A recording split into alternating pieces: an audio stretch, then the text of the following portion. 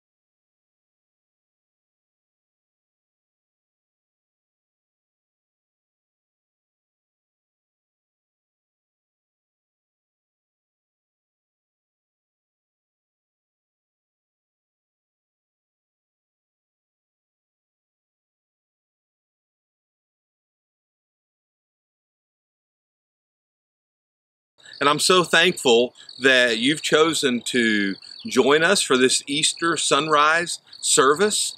And just want you to know that uh, we're excited for just everything that's going to happen uh, today. One of the things about me, I grew up on a small farm in southern Illinois. And growing up on a small farm, we were up in the dark uh, every day uh, of my childhood. And, and we would oftentimes get finished with our chores even before the sun came up. I also grew up hunting and fishing, so I was outside a lot and saw a lot of sunrises. One of the things as you look at scripture, uh, Jesus was, he frequently got up early in the morning while it was still dark to spend time praying to the Father. Even David would uh, get up early in the morning and long to spend time uh, with Jesus. When I was 10 years old, I made a decision to trust in Jesus Christ as my Lord and Savior. And then in college, somebody discipled me and actually showed me how to spend time studying my Bible and encouraged me to have uh, a daily time where I'd get up and read and study and pray. And so that really became became my regular uh, habit and discipline and has been uh, since that time. So I've experienced about 50 years worth of sunrises in my lifetime. I love seeing the, the world come awake as the sun peeks over the horizon. One of the things that we've experienced here in Murphy the last several weeks is we've had a lot of rain and clouds, and then you add on top of that everything with the coronavirus and the shelter in place. Uh, it's just been kind of a, a dark season for many of us, especially if you know someone who's gotten sick, or perhaps even you, or if you've known a loved one who maybe has even succumbed to this virus and passed away. So we all, if we've lived long enough, we've gone through some dark seasons. One of the things is you look in the scriptures, you see the disciples of Jesus Christ. They went through a dark season.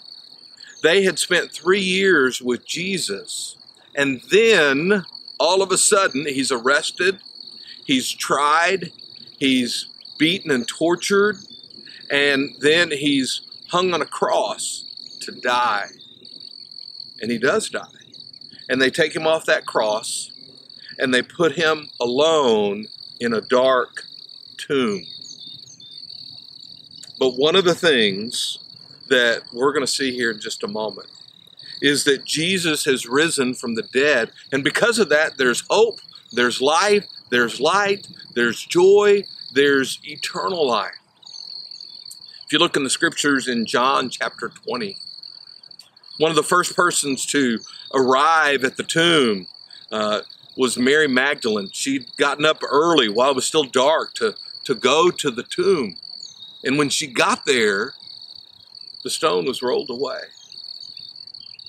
Jesus wasn't in the tomb. So what does she do? She leaves and she goes and she tells the disciples that Jesus had risen from the dead, that he wasn't there. And so in the Gospel of John, you, you see that John is telling this story, and oftentimes in his Gospel, he refers to himself as the other disciple. And he tells the story how the other disciple and Peter, they're running together toward the tomb. But the other disciple gets there first. See, competition for guys has been a thing all along. And John gets there first, but he doesn't go in. Peter is right bef- behind him. He gets there and he goes in the tomb and he sees the grave clothes there, but no Jesus. Jesus had risen from the dead. And so we see that Jesus first appeared to Mary Magdalene, the one who uh, approached the tomb first.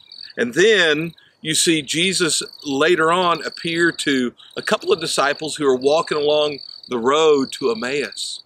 And as they're walking, they don't really understand who he is, but he's telling them a story about how the Messiah must suffer and die before he can be glorified. And then I love what scripture says in Luke chapter 24, verse 27.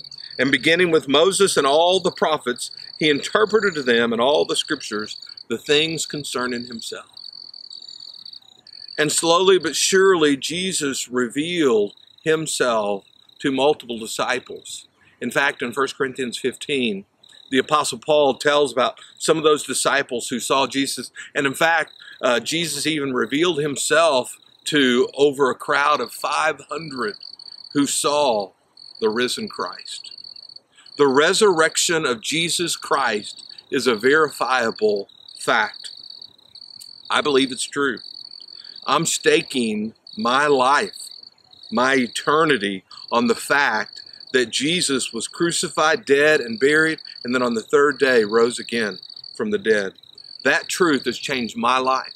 It's changed my marriage. It's changed my family. It's changed my work and my hobbies and my schooling. It's changed everything that I do. Saved from darkness to light, from mourning to rejoicing, from despair to hope, from eternal death to eternal life. Now, whether you're watching this live or watching it some other time, I've got a question for you. Are you alone, living in darkness, without hope, without any direction in your life? Do you know for certain where you will spend eternity? Just as you've experienced the joy and the magnificence of watching a sunrise behind me, you too can experience the joy and the wonder and the hope and the excitement of having a relationship with Jesus Christ. You see, Scripture says in Romans 10 9 that if you confess with your mouth and believe in your heart that God raised Jesus from the dead, you'll be saved. And so I want to encourage you to take that step of faith, to turn from your sins and to confess Jesus as your Lord and Savior. Here at First Baptist Murphy, that's why we're here. We're here to help you to come alongside with you and help you learn what it means to trust in Jesus and to grow in your walk with Jesus so that you in turn can tell other people about him. In fact, our mission statement here at First Baptist Murphy First Baptist Murphy is a gospel centered family of many cultures and generations that exists to magnify Christ and multiply disciples and mobilize missionaries. We're all about the gospel, the good news of Jesus who was crucified, dead, and buried, and rose again on the third day. And we're here to offer you hope and to give you through the scriptures and point you to the scriptures that there is a path to eternal life. Let's pray. Father, I thank you for everybody who's here listening and watching. Lord, that you would speak to their hearts. Lord, that as they open up your word, Lord, that you would reveal yourself to them. Lord, that they would see the sin in their life and their need for a Savior. And Father, that you would enable them through the power of your Spirit to confess you as their Lord and Savior, to turn from their sins, and to believe in their hearts that Jesus really was crucified, dead, and buried, and rose again on the third day. And that through that faith that they place in you, Lord, that they might have that relationship with you. And know for certain that they will spend eternity in heaven with you. So, Lord, I pray that you would uh, guide us throughout the rest of this day and, and the things that we're going to encounter with you. And Lord, we pray that many people would have hope. Lord, that they would be encouraged. Lord, that they would hear the story in the scriptures about Jesus and their life too might be changed. In your name we pray.